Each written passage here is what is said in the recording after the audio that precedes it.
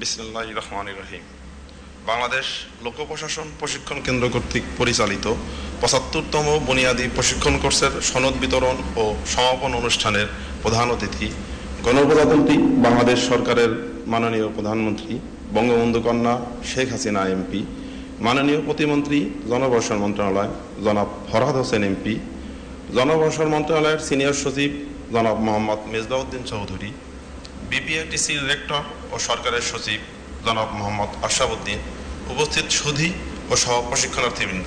আসসালামু আলাইকুম, শুভ সকাল।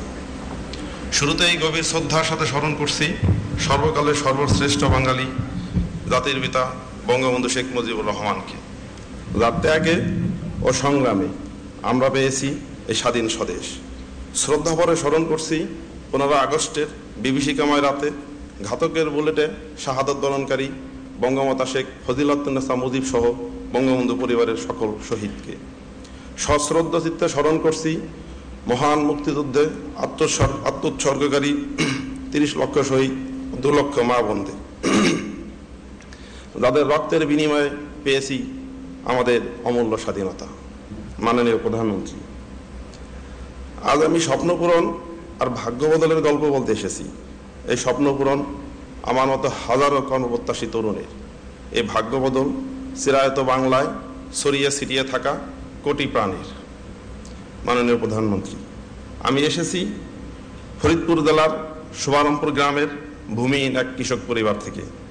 বাবা ভাইদের সাথে অন্যের জমিতে সেচ দেয়া, চুক্তিতে ধান পাট কাটা, ক্ষেত নিরানি দেওয়াই ছিল আমার পরিবারের উপার্জনের উৎস। ঝড় বৃষ্টির রাতে সনের ঘরে চালা উড়ে যাওয়ার ভয়ে ঘুম না আমাদের। সেই আমারই ইচ্ছা ছিল প্রকৌশলী হবার, কিন্তু বিজ্ঞান বিভাগে পড়াশোনার খরচ চালিয়ে যেতে পারব কিনা সেই আশঙ্কা ছিল। আমার ইঞ্জিনিয়ারিং পড়ার স্বপ্নটা প্রায় শেষই হতে যাচ্ছিল। যদি না রাজশাহী বিশ্ববিদ্যালয়ের ফলিত পদার্থবিজ্ঞান ও ইলেকট্রনিক ইঞ্জিনিয়ারিংয়ে পড়ার সুযোগ পেতাম। কেননা অর্থের অভাবে কেবল রাজশাহী বিশ্ববিদ্যালয় ছাড়া অন্য কোথাও ভর্তি ফর্ম তুলতে পারিনি। বিশ্ববিদ্যালয় প্রথম বর্ষে পড়ার সময় মাঝে মধ্যেই আমার ভাইয়ের সাথে আমাকে রাজমিস্ত্রির কাজে যেতে হতো। প্রাইভেট টিউশনই না পাওয়া পর্যন্ত প্রথম বর্ষের বেশিরভাগ সময় আমি সকালে নাস্তা করতে পারিনি। হলে পনেরো টাকায় দুপুরের খাবার এবং বারো টাকায় রাতের খাবার। এই মোট সাতাশ টাকায় আমার দুবেলা খাবারের খরচ মিটত। রাতের খাবার থেকে পরদিন দুপুর পর্যন্ত প্রায় আঠারো ঘণ্টা না খেয়ে থেকে। আমার মনে আছে, ল্যাব থেকে আসার সময় ক্ষুধায় বাঁকা হয়ে যেতাম আমি। মাননীয় প্রধানমন্ত্রী, এমন একটা অনিশ্চিত জীবন থেকে উঠে এসে আজকে আপনার সামনে কথা বলার সুযোগ পেয়েছি বলে পরম করুণাময় মহান আল্লাহর নিকট লাখো কোটি শুক্রিয়া।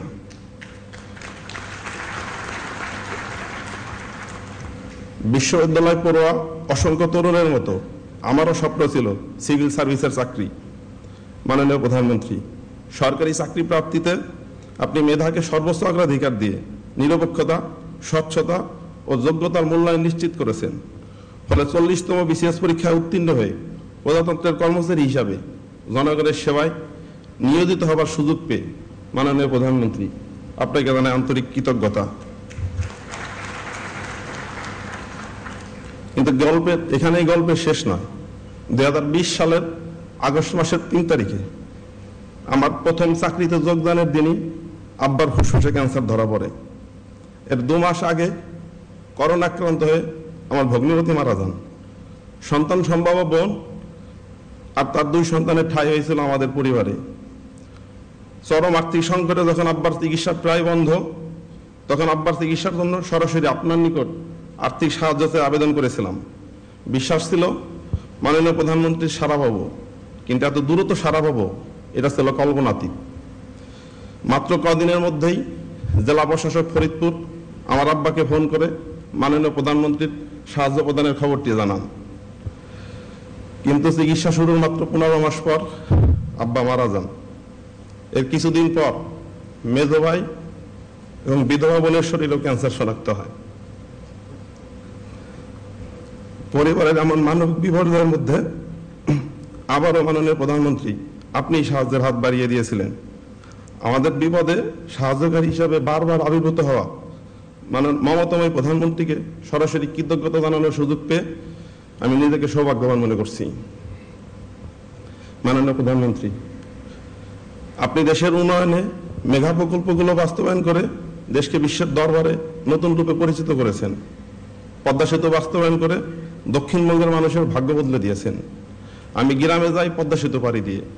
অসুস্থ বাবাকে নিয়ে ফেরিতে পদ্মা পাড়ি দিয়ে ঢাকায় আসার পথে আব্বাকে বলতাম, আব্বা, আর কটা দিন কষ্ট করেন। ইনশাল্লাহ কেমোথেরাপির এই ধকল নিয়ে আপনাকে আর ফেরির জন্য অপেক্ষা করতে হবে না। এখন চোখে সেই প্রমত্ত পদ্মা এখন চোখের পলকে পার হয়ে যাওয়ার সময় আমি অনুভব করতে পারি। আপনি কীভাবে দেশের মানুষের চিরায়ত দুঃখের গল্পগুলোকে আনন্দের আখ্যানে পরিণত করেছেন? দুই হাজার একচল্লিশ সালের মধ্যে এদেশকে স্মার্ট বাংলাদেশ তথা বঙ্গবন্ধু স্বপ্নের সোনার বাংলায় রূপান্তরের যে নিরন্তর প্রচেষ্টায় আপনি আত্মনিয়োগ করেছেন, আপনাকে আমরা কথা দিতে চাই। আমরা হব সেই স্বপ্নরথের সারথী। অজপাড়াগের ভূমিহীন কৃষকের যে ছেলেটি আস প্রজাতন্ত্রের নবীন কর্মচারী জাতি দিন পরিষদের সামান্য সুযোগ সে হাতছাড়া করবে না, ইনশাআল্লাহ। পরিশেষে মাননীয় প্রধানমন্ত্রী, জাতির পিতার স্বপ্নের সোনার বাংলা বিনির্মাণে নিজেকে যেন নিয়োজিত রাখতে পারি, সেই দোয়া ও আশীর্বাদে আমার বক্তব্য এখানে শেষ করছি। সবাইকে ধন্যবাদ। জয় বাংলা।